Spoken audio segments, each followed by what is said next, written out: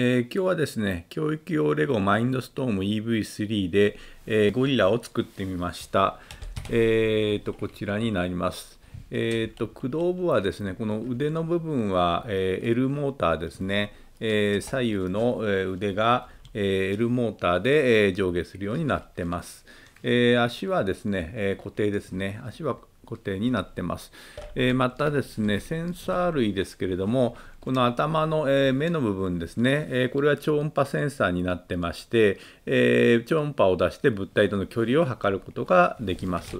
えー、そして左右にですね、えーと、手の部分にそれぞれセンサーがついてまして、えー、左手の部分はこれタッチセンサーですね、えー、この押されたということを、え判定することができるセンサーが、え左腕についてます。え、右上の腕の方はですね、カラーセンサーがついてまして、まあ、色の判別ですとか、あとは反射光、光の反射の、えー、強さですね、あとはま周囲の明るさなどをこのカラーセンサーで、えーえー、判定することができます。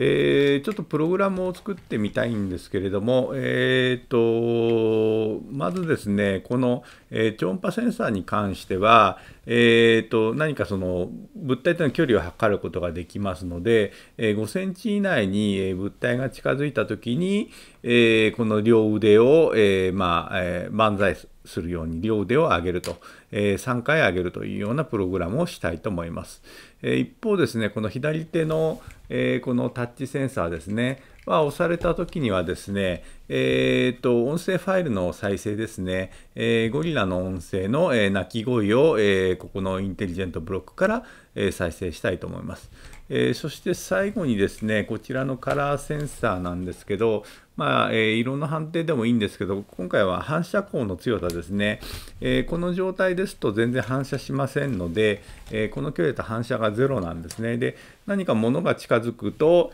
えそこに、えーと、反射をしますので、えまあ、反射、えー、光の強さがある一定以上になったときに、えーと、このこの、えーと、右腕ですね、えー、右腕をやはり3回、えー、上下に、えー、移動さあ上下に上げ下げするというようなプログラミングに、えー、したいとしてみたいと思います。えー、まずですね、えー、タンクブロックを使ってですね、両腕をだらんと,、えーと、下に下げたいと思います、えー、タンクブロックを配置しまして、これは秒数してですね、で非常に弱いパワー、えー、マイナス、マイナス指定ですと腕を下げますので、えー、両腕とも、えー、マイナス5の力で、えーとまあ、0.5秒間ほど、え稼働させます、えこのようにですね、弱いパワーでどちらか一方向にモーターを動かして、え初期処理をするというようなことは、えよくやる、使う手ですね。えこれで両腕が一番下に下がった状態になったかと思います。えーと、そしてこれ以降ですね、えーと、超音波センサーの顔の部分ですね、えー、超音波センサーに、えーと、5センチ以内に物が近づいたときに、えー、万歳参照するプログラムを、えー、作ってみたいと思います。えーと、待機ブロックを配置しまして、待機ブロックはですね、えー、超音波センサー光比較距離センチメートルですね。えー、そしてこれは、えーと、比較は、えーと、4番の、えー、小なりの、えーと、5センチと、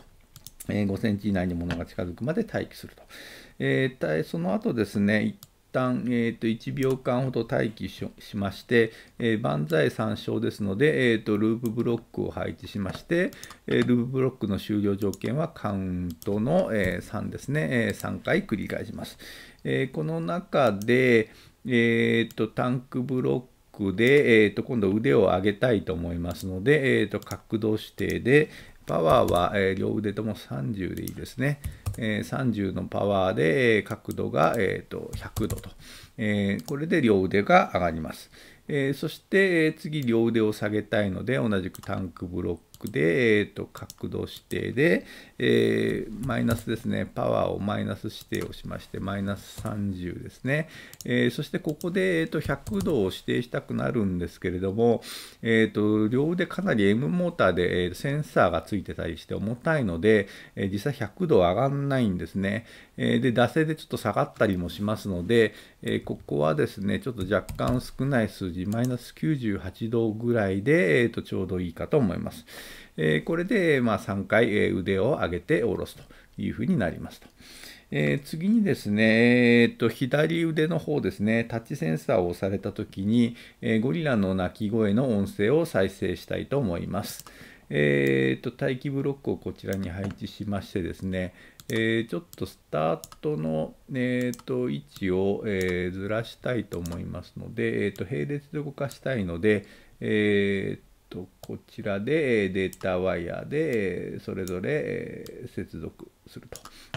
いうふうになります。えー、そしてですね、こちらの、えー、待機ブロックですけれども、えー、タッチセンサー比較、えーと、状態ということで、この状態はこの1番の、え押されたですね、を選択します。え押されるとですね、次がこの音ブロックを配置しまして、音ブロックは、えファイルの再生でいいです。えそしてこのファイル名のところにですね、このゴリラですね、えゴリラのファイルを、え再生します。で、もともとですね、この、えっ、ー、と、ゴリラのファイルはありません。えっ、ー、と、インテリジェントブロックには入っていません。EV3 には。えっ、ー、と、フリーのですね、ゴリラの音声ファイルを、えダウンロードして、えっ、とインあの、インテリジェントブロックに、えコピーしています。えツールのこのサウンドエディターの方で、えできますので、えっ、と、まあ、好きな音を、えこちらで追加することができるということになります。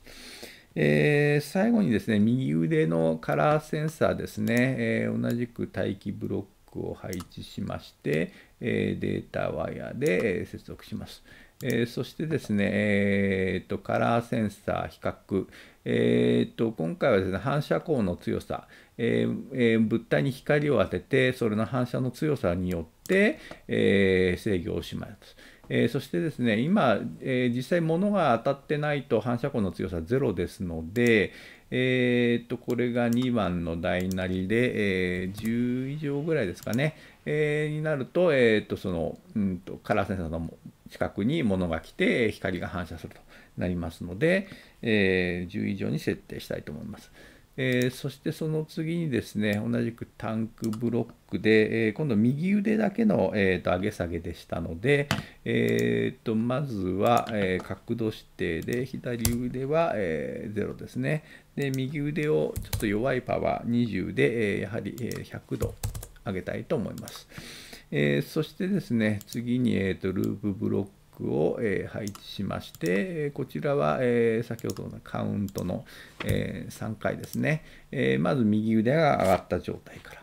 えそして待機ブロックで、0.5秒ほど、待機した後、今度右腕を下げたいと思いますので、タンクブロックで、角度指定で、左は0ですね。で、右はですね、マイナス30のパワーで、先ほどと同じように98度下げますと。えそして最後に、えー、と同じくタンクブロックを配置して角度指定でパワーは0でパワー30で100度上げると。えー、いうことで、えー、こちらと先ほどのループと、万歳の時のループと若干異なってはだとあの右腕だけを最初に上げてます。なので上げた状態で下げ上げ下げ上げ下げ上げと3回繰り返すことになります。まあ、最後に上がった状態で終わるんですけど、実際ちょっと腕が重たいので、えーと、上がった状態でプログラムは終了するんですけど、惰性で下がってきてしまうと思います。えー、ではこれで動かしてみたいと思います。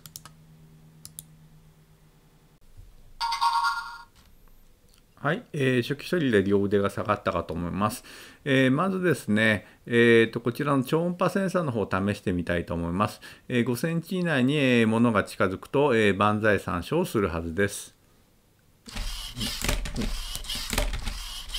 はい、えー、ちょっと勢い余って動いてしまいましたけど、えー、腕を3回、えー、上下に上げ下げしたと。かと思います。え次にですね、タッチセンサーを押すと、えーと、ゴリラの鳴き声ですね、を、えー、再生するはずです。